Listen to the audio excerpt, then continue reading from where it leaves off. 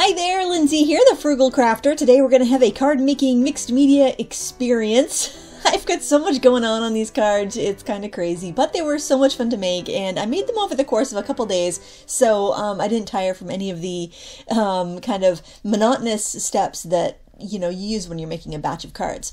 So the first thing I'm using here is a jelly plate. I've got this tiny little seashell, not seashell, fish scale jelly plate, as well as a larger 8x10 jelly plate. And these are both by Jane Davenport. Um, they're a new set. They're thinner than the previous Gelli Arts jelly plates, and they're meant so that you can actually use them in your art journal if you don't want to work on loose sheets. So I'm starting off by taking some different shades of blue markers, and I am drawing some waves on the on the uh, plate itself with alcohol alcohol pens. Any alcohol marker is going to be fine for that. So if you have Sharpies, um, if you have Copics, it doesn't really matter. Any alcohol marker is going to be just fine. It doesn't have to be a brush tip or anything fancy. Then I'm going to brayer over a light kind of periwinkle blue color and I'm putting down a fish scale stencil. Now this is um, actually a sticker sheet that came with the jelly plates. They have these like little, it's a, it's a sheet of like fish scale stickers.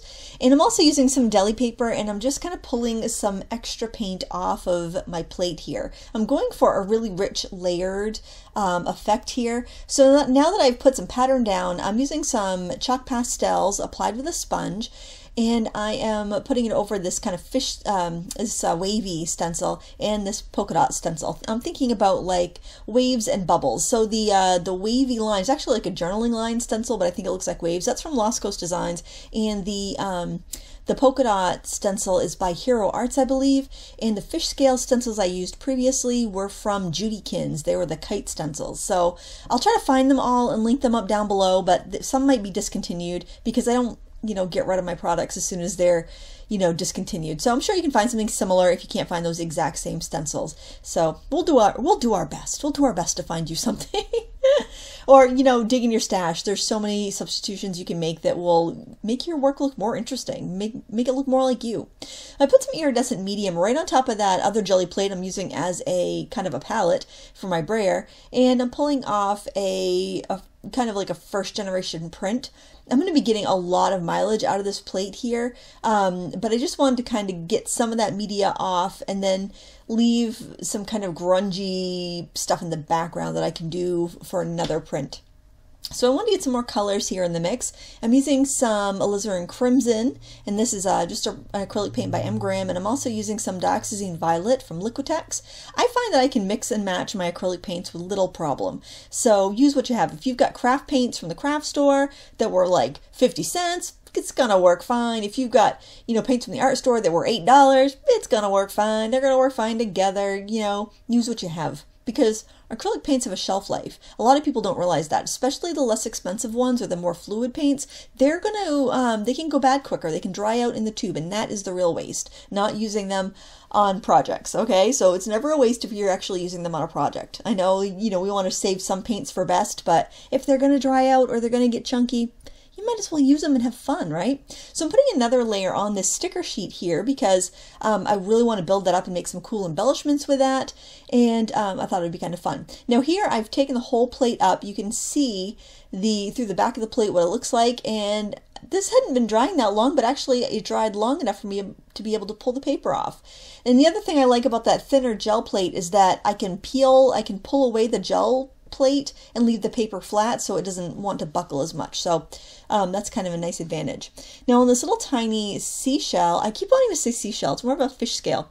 Um, this jelly plate you can use as a stamp, which is nice. You can put it right on a stamp mount and you can, you know, press it down. You could use your ink pads with it. You could use um, you could ink it up with an ink pad and then like doodle on it with like um, a silicone tip tool or press it to a stamp and get like kind of a kiss design. I love that.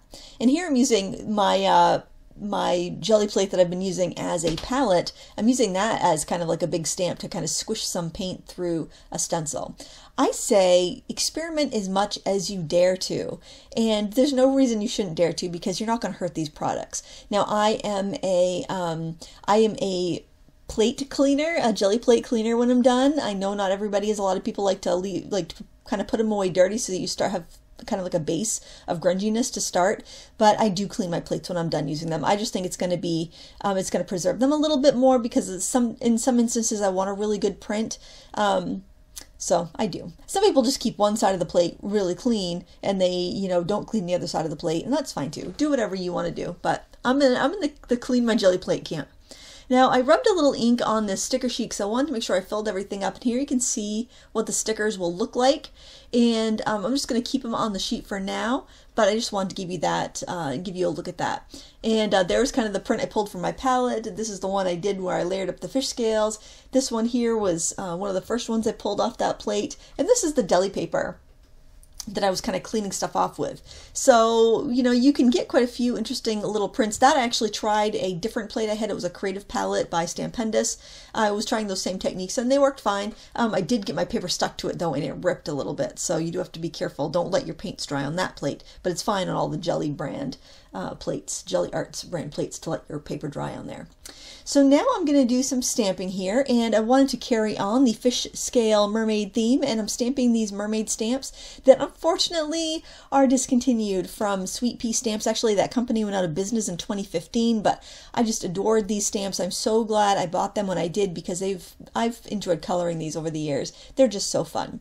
I'm using a variety of different markers here to color in my images and uh, you'll notice those brush tip markers there. They are not available yet but they will be soon, and I will be doing a review on them after I've used them for a bit. But those are the new Ohuhu brush tip markers, um, and I just wanted to. I know they're not going to be available for another couple of weeks, but that'll give me a plenty chance to really put them through their paces and see what I think of them before I do my final review. But so far, so good. I've I really enjoyed the way they colored and the nice blending I was able to get with them.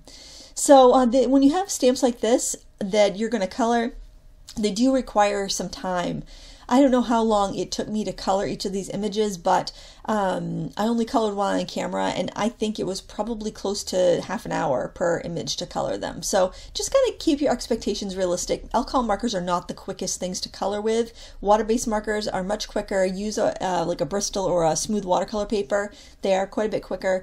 Um, or watercolor paints or watercolor pencils. I find that colored pencils or alcohol markers are probably the most time-consuming coloring medium but it's a lot of fun. I enjoy it. I find it relaxing. So that's why I wanted to color with this medium. And I also want to try out these new markers because trying out new markers is always a lot of fun. Something you might like if you do a lot of um, alcohol marker coloring would be an opaque white pen. So this is the Posca pen, the ultra fine pen. I like this because I can refill it with like a really fluid acrylic ink or you could use um, a white gel pen. If you have a white gel pen, just watch out for clogging and try to use it frequently so you don't end up letting the tip clog. I rarely ever use up a white gel pen. It's usually I forget about it and it goes um, it goes clogged. And here I'm using a quickie glue pen, which is like a gel pen, but it's got adhesive in it and I am coloring, I'm just drawing anywhere I want to have a little shimmer, and then I'm going to put some clear iridescent ultrafine glitter on top. Now the Quickie Glue Pen is really neat because you don't have to sprinkle the glitter while it's still wet. It'll be tacky after it dries, so you can use it with uh, foil or glitter uh, after it's dry, flocking, whatever you like. And it just gives you a really subtle sheen, which I think is so pretty. I've really kind of got back in my card making groove lately, and it's um, in no small part to the fact that I love playing with my jelly plate. This one here is a 3 inch by 5 inch, either 3 by 5 or 3.5 by 5. I think it's three by five. It's perfect, like kind of tag sized jelly plate, and um, you don't need to have so many different ones. But I do find that I enjoy having the different sizes for um, different projects. Now this is a top fold four and a quarter by five and a half card, so I cut a, a, piece of cardstock the hot dog way, so like the long skinny way and fold it in half so I'd have some tall skinny cards. And I am using this jelly plate with my Distress Oxide inks because they're more like paint than ink, quite frankly. That's why I like them. Um, and I am doing kind of like a block on each of the backgrounds. So when you have a jelly plate that is um, a smaller size, you can stamp it on a card and have that cool edge. That's what I like about it. But you can also just get gelatin at the um, supermarket and you can make your own jelly plates that won't be reusable indefinitely.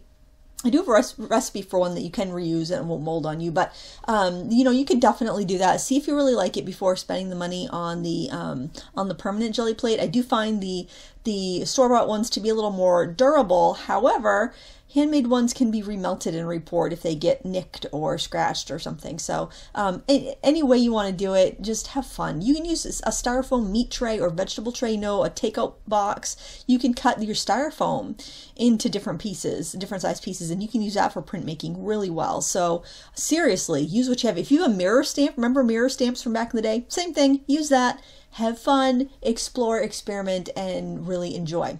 I was really got a kick out of this because I got to use some stamps I haven't used yet. And this set here was a Fiskars set that I got at a big box craft store many years ago. It was from the Teresa Collins line. I'm not sure if she still has stamps, but anyway, it had kind of like the scallop fish scale um, looking border, which I thought would be really pretty right on my card bases and I'm stamping that right along the um, jelly print edge that I made just to kind of give it a little extra border.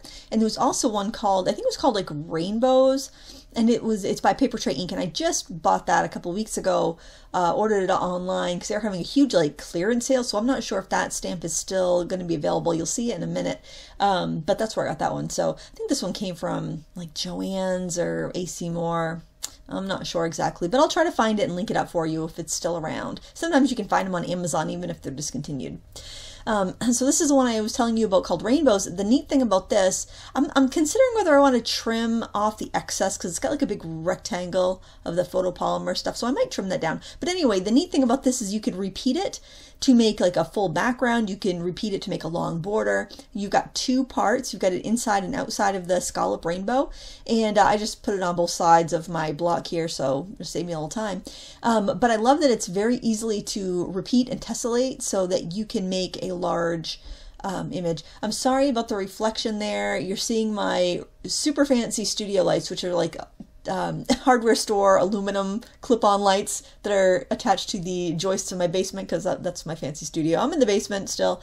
Um, and uh, so that's what you're seeing reflected there. So I just grabbed a couple colors that I had used in other backgrounds and stamped those on there. I wasn't worried about being perfect because with this um, with this style of card making with the jelly printing the beauty is in the imperfection and the mess and I just love it I just um, I just want to let loose sometimes in my card making and you can really incorporate the artsier side when you do stuff like this and since I use distress oxides I could give it a little spritz of water and then it would make the ink react differently and I could blot it and get this kind of bleached out look which I thought looked very perfect for like um, a beachy kind of cards because you think of like beachy things getting kind of like splashed and uh, you know I like that. So now I went through and looked at the uh, different images that I colored and I just kind of matched a background to the one that I colored as best I could and um, then I just kind of set about picking different elements to make my cards with. I find that I use less and less pattern paper, store-bought pattern paper these days because I love making my own backgrounds and stamping them and printing them. So um, if you're like that, you know, you might want to give some of these printmaking techniques a try. Now, because I spent so much time coloring these images, I really wanted them to um, be prominent on the cards. So what I did was I just cut some black cardstock and mounted them all and then just trimmed them. So I had about a 16th of an inch border. And then I looked at my jelly prints and decided I wanted to make just some kind of like strips or borders with them. So this first one I cut out by hand, just going along one of the um, scallops in the paper. And I just glued that along the bottom because I really liked what I had printed on the background of the card base. So I didn't want to cover all that up. That's kind of the hard thing about jelly printing is that like you might love the entire paper and then you don't want to cover any of it up because there's little bits and you know spots that look so cool. So that's kind of the one like drawback to that. So um, i kind of just stuck that down trimmed off any excess and i used a little fish scale to embellish that. So um, i think that was kind of really cool that they included those stickers with that jelly plate and you can buy the stickers separately so if you already have the jelly plate and you can buy just a little fish scale jelly plate separately. So i like that too. You don't have to buy the big one if you don't want to. I thought that this um, uh, this yarn that I had, this novelty yarn, was really nice. I had some eyelash yarn and some little um, kind of like flagged yarn and I just, it reminds me kind of like of seaweed, and I thought that would be a really nice embellishment for this card. Actually, there was a piece of like fuchsia eyelash yarn in the jelly plate kit that you can use on your prints, like so that you can get kind of a seaweed look. So it's a great way to incorporate things from other crafts that you do into your card making. So that's what I loved about scrapbooking was that I could use anything that I had for any other craft, it seemed like, and you can do that for card making just as well. These little pearls are from the Dollar Tree, and I thought pearls would be great because underwater, mermaids, you know, oysters, pearls, that sort of thing. So I just put a little um, accent of those on there. And for this card here, I'm just going to put a couple of the little stickers side by side to make a little scallop. And that'll be pretty much all I need for the embellishment there. I just want to make sure that the image that I spent so long coloring is the focal point of the card. And um, I think it's so neat just to see how I'm using the same supplies on everything, but how each card's a little bit different. Um, and it's kind of fun. It's kind of fun at this stage because you're seeing all of your hard work pay off because you've been like maybe working over a couple of days on all these different elements and then all of a sudden you've got seven cards, which I think is is so fun. You could use ribbon if you preferred ribbon.